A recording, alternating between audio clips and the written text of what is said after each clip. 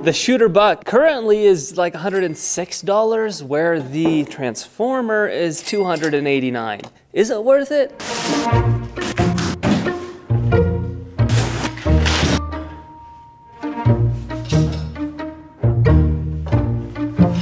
This is Morrell's Transformer Buck. It comes in three pieces and it also comes with rebar to stake it into the ground.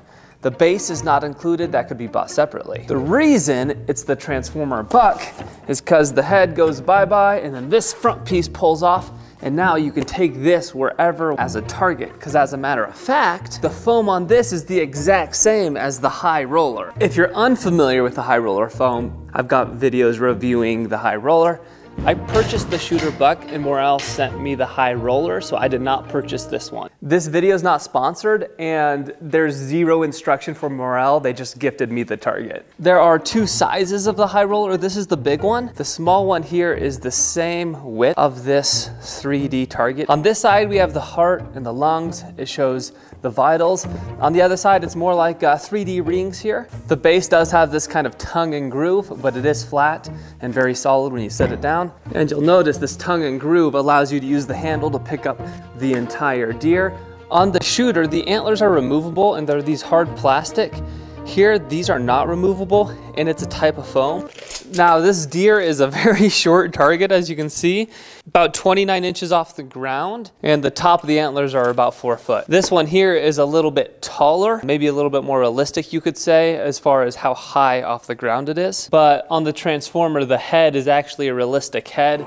This one actually has ears if you care about that sort of thing. And if you're a hunter, this rack is probably more realistic for you too. Maybe not you, but me. On the shooter, we have this little removable foam piece in the center. It is a pretty small area compared to the transformer, you can see how big this entire area is. It is, that's why it's a transformer. It is like a second completely different target.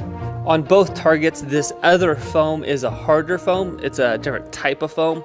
It's not meant to be shot repeatedly over and over, just a misfire can hit it. On the transformer, it's a 10 by 16 plus shooting area, where on the other target, it's basically just the vital. I must note these red eyes. I think they're red because it's titled The Transformer. At least I haven't seen a deer like that. You may or may not like it. I think it kind of looks a little weird. The Transformer buck can take any type of arrow. When you look at the box, it should make you feel comfortable to shoot any bow, any arrow. Where this other one, you definitely don't want to use broadheads on it. We do have a stationary head here on Mr. Shooter. On the Transformer, we can rotate 360 degrees like an owl. The box says any bow, any tip, any speed. And my experience with the high roller foam, that's gonna be completely true. The box also says it's easy arrow removal. On the other high roller targets, the arrow removal compared to all the targets on the market was not easy. And they said they were working on that, working on tweaking the formula a little bit last time I talked to them. Now we're gonna test how difficult it is to pull the arrow from the target.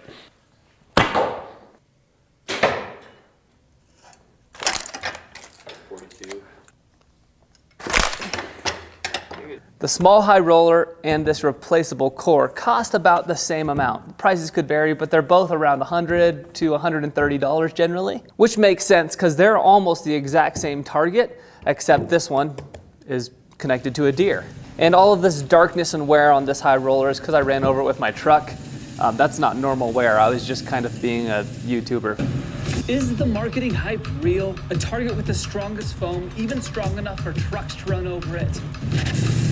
As I review products, I like to pick them apart as much as possible, but I'm not picking them apart in the sense of good or bad. I'm just trying to state the facts and then let you guys determine if it's a good or bad factor. Like the targets being really short, I say that, I don't mean that as a bad thing or as a good thing. It could be either or depending on how you perceive it or how you're going to use it. For example, a shorter, heavier target means it's going to be more stable and not move around more but you could say it's less realistic because it's shorter and heavier. Do you prefer it to be more realistic or do you prefer it to be more stable? I don't know. The shooter buck comes in at nine pounds where the transformer comes in at 25 pounds. Next, we're gonna test arrow penetration with a traditional bow and a compound bow.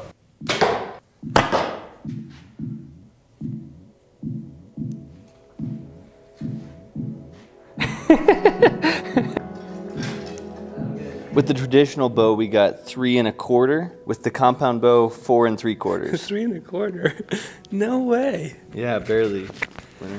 No way. That's I think that's more dense than the high roller. To get a little bit of the user experience, we've shot 50 shots into the target with a mix of the compound and traditional bow. And there are two things that I don't like too much.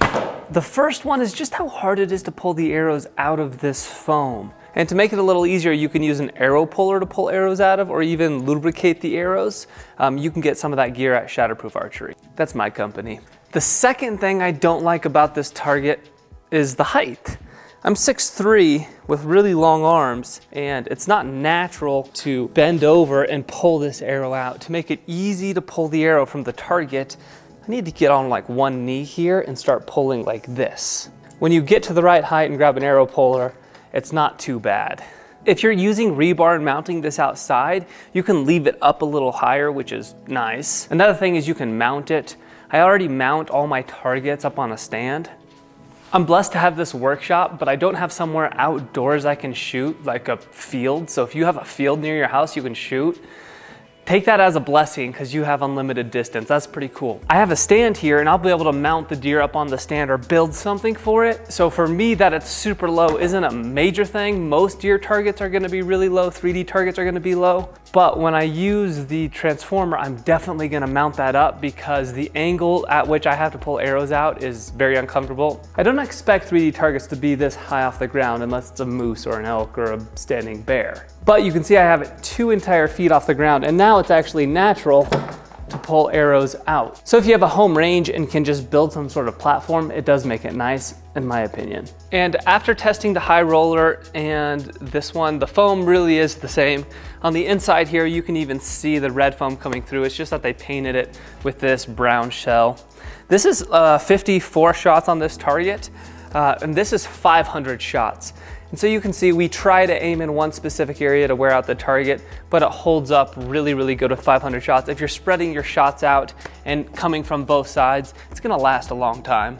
So let's do a quick estimation of cost per arrow. This target held up to 431 shots before we had a complete pass through. So if you divide the 431 by the cost of the target, we're talking 23 cents per shot. Now you can replace that insert for like $35 and then get another 431 shots. Oh, and by the way, that's from one single location, so you'll double or triple that amount of shots if you're not shooting from within 10 yards. And basically, if you're not a sniper, you'll do better. I was trying to wear it out as quick as possible. Whereas with the high roller foam on any of these targets, I would have to estimate because I haven't been able to shoot enough arrows through the target to pass all the way through. My estimation is probably 1500 shots in a three inch circle will get you to pass all the way through. So let's do the math on that.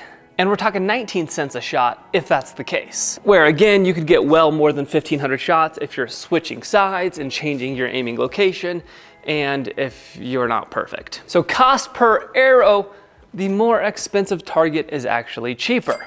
This might help understand what's going on here. Take a Honda Civic, for example. Take the car body. Now you could put two different engines in there and have two completely different results of what the car can do and how fast it can go. That's how these targets are, looking pretty similar, but the foam, the foam is what makes these two targets the most different. That's where the price point can be hard to swallow, but cost per arrow, it's actually cheaper on more expensive targets at least in the 15 I tested. Now the downside to extra durability is generally that the difficulty of removing arrows goes way up. But that's only in the initial stages of shooting.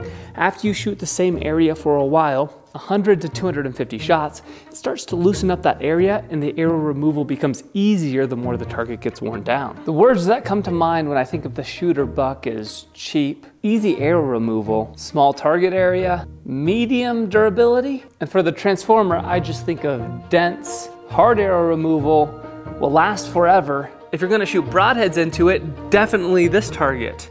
and really, really short. I have a playlist with like 15 target reviews and a recap of all the targets if you want to check that out. My favorite targets are the ones that stop arrows, and both of these do that. Thanks for watching. Stay shatterproof, and I'll see you on the next video.